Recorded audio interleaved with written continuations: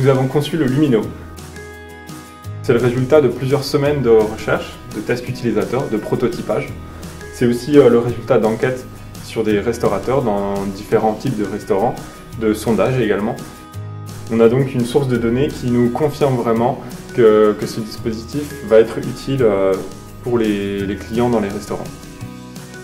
C'est aussi un dispositif qui peut aider les restaurateurs à remplir les tables, ou c'est aussi un moyen nouveau d'attirer des clients ou une, euh, ou une clientèle différente. On peut choisir de passer le dispositif en mode partagé, c'est-à-dire qu'on acceptera n'importe qui euh, qui voudra venir manger à notre table. On pourra ainsi euh, faire connaissance, discuter et, et pourquoi pas devenir amis plus tard. Il est doté d'autres fonctionnalités, comme par exemple l'appel serveur, où il suffit d'appuyer sur le lumino pour qu'un serveur soit notifié qu'il est appelé à une table et euh, se déplace ainsi directement. Nous avons conçu aussi une application qui permet aux utilisateurs de trouver les restaurants en proximité ainsi que le nombre de tables disponibles.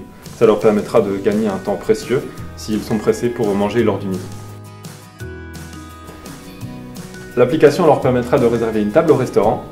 Ils pourront aussi savoir s'ils peuvent rejoindre une table partagée avec des gens pour les rencontrer ou s'ils devront prendre une table pour eux.